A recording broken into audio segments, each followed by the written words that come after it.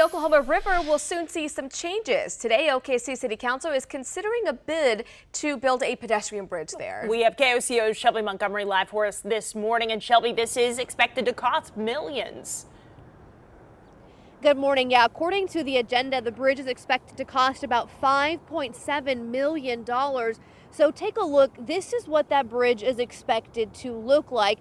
Now, this is part of MAPS 4 and is phase one in the effort to transform the area there near the OKANA Resort. The bridge will be about 400 feet, connecting people to Bricktown, Riversport, OKANA, and other businesses. We did speak to Oklahoma City officials last year who said the river would have to be drained for several months to start building.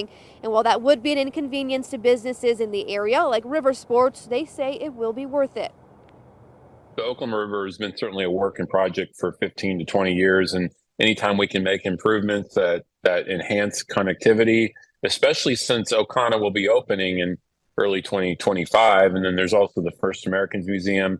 And then also just the trail users and being able to go, you know, across the river. It's unclear when construction on that bridge is expected to start. We hope to learn some more information from that city council meeting that starts at 8:30 this morning. Reporting live in downtown Oklahoma City, Shelby Montgomery, KOCO 5 News.